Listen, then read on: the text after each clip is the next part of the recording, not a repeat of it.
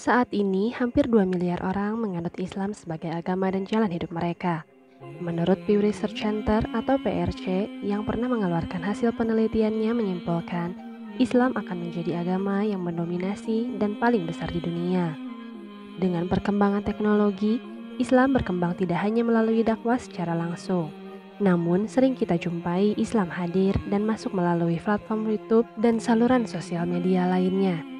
Dan berikut daftar YouTuber yang jatuh hati terhadap Islam dan akhirnya memilih Islam sebagai jalan hidup mereka.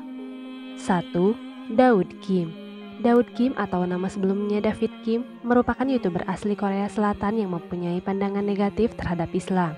Sebagaimana media menggambarkannya, berawal dari melihat dan membuat konten reaksi Al-Quran dan video Islam lainnya. Sedikit demi sedikit, Daud Kim mulai memiliki ketertarikan terhadap Islam hingga bersyahadat dan menjadi muslim, yang kemudian disusul istrinya yang mengikutinya menjadi muslim. Asyhadu alla ilaha illallah wa asyhadu anna muhammadan rasulullah. 2. Mr. Watwa Mr. Watwa atau Richard Kendall merupakan YouTuber asal Nigeria yang tinggal di Los Angeles, California. Mr. Watwa memulai channel YouTube-nya pada tahun 2012. Beberapa tahun terakhir, Mr. Watwa sering mengupload video reaksi dari konten Islam seperti Al-Quran dan beberapa video dari Merciful Servant dan sebagainya, hingga hidayah menghampirinya. Richard Kendall akhirnya berganti nama setelah menjadi muslim dengan nama Abdullah Oni. Bismillah. Assalamualaikum. 3. Rosie Gabriel Rosie Gabriel merupakan solo traveler terkenal yang berasal dari Kanada pada Januari 2020. Rosi memberikan kabar mengejutkan dengan bersyahadat dan menjadi muslim setelah mengunjungi Pakistan dan melihat keramahan dan kenyamanan dari orang-orang Islam di sana.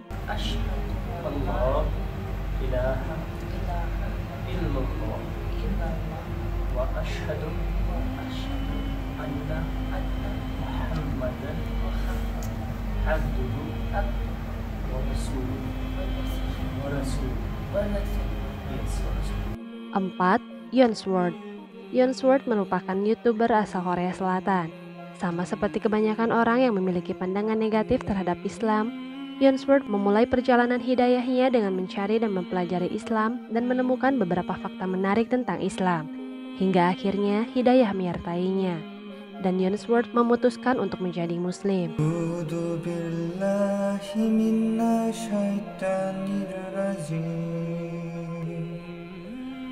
Bismillahirrahmanirrahim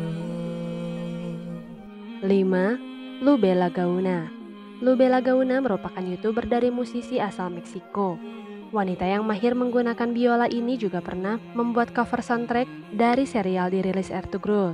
Berawal dari kunjungannya ke beberapa negara muslim seperti Dubai dan Turki. Lubela Gauna akhirnya memutuskan untuk menjadi seorang muslim. It's to talk about the famous question that everybody's wondering. Bella, what is your religion? Are you Muslim or not? To answer everybody's question, I am. I converted three years ago. 6. Iman Diaz Iman Diaz atau Dennis Diaz merupakan seorang warga negara Filipina yang tinggal dan kuliah di Malaysia.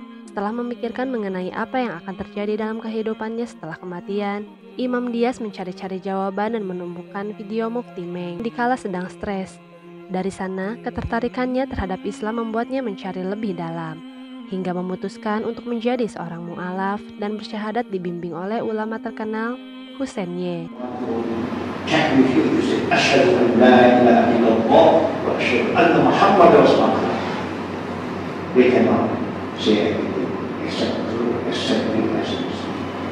Trustworthy, sincere, and always be truthful with anybody that you come in contact.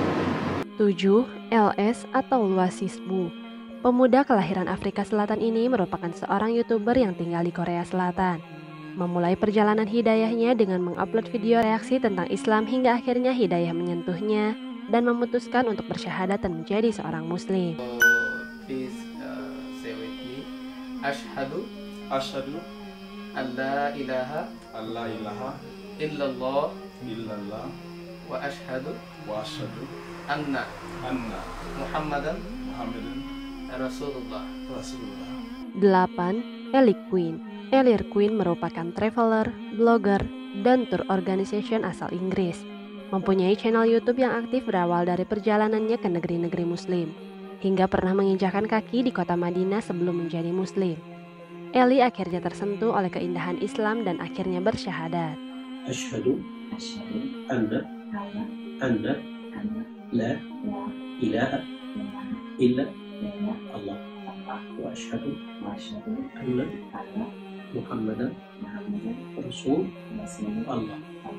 Jeff Palprey Jeff Belprey merupakan seorang YouTuber, traveler, blogger asal Inggris yang awalnya mempunyai pandangan buruk terhadap Islam dikarenakan pandangan media dan berita yang sering ia jumpai khususnya di Inggris. Namun setelah berkeliling ke beberapa negara Islam, pandangannya berubah 180 derajat hingga memutuskan bersyahadat dan menjadi seorang muslim. Ashhadu I testify. I testify. And la ilaha. La ilaha. إله إله إلا الله إلا الله وأشهد وأشهد أن أن محمدا محمدا عبده ورسوله رسول I testify I testify that there is only one God that there is only one God worthy of worship worthy of worship and I testify and I testify Prophet Muhammad Prophet Muhammad peace over peace be upon him is his messenger and his servant Hidayah adalah bimbingan atau petunjuk yang diberikan oleh Allah Subhanahu wa taala untuk seseorang. Berupa terbukanya hati dan lapangnya dada untuk meyakini kebenaran agama Islam. Hidayah merupakan sesuatu yang mahal dan tak ternilai harganya. Semoga Allah Subhanahu wa taala menjaga dan menetapkan hati kita di atas agamanya hingga ajal menjemput. فإن الله يضل من يشاء